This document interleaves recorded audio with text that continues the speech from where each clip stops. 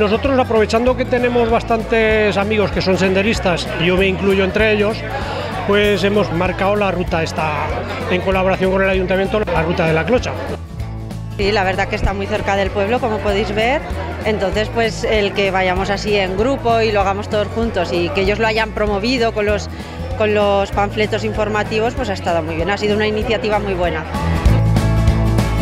Y estaba muy abandonada, estaba sin, estaba marcado pero muy antigua con marcas antiguas, ahora ya las hemos hecho con las marcas homologadas de la DGA y ahora por lo menos hemos limpiado la calera, hemos hecho varias cosas por ahí y lo hemos marcado todo. Y el pozo de Palomar también lo hemos limpiado que estaba lleno de basura. Han puesto bastantes indicadores y paneles informativos, entonces hoy ha sido un día en el que lo hemos pasado todos juntos y ha estado muy bien.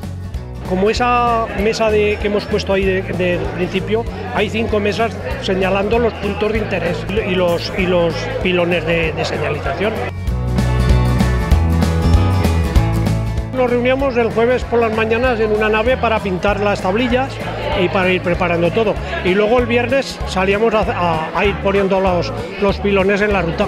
Unos tres o cuatro meses, porque ha habido que preparar las tablillas, ir a que nos lo marquen, bajar a, a la imprenta. Hoy hemos salido a las 8 de la Plaza de España, hemos ido todos juntos, hemos hecho el recorrido, habremos tardado unas dos horas y luego hemos bajado aquí de almuerzo, de merendola, que es lo bueno de- después del recorrido.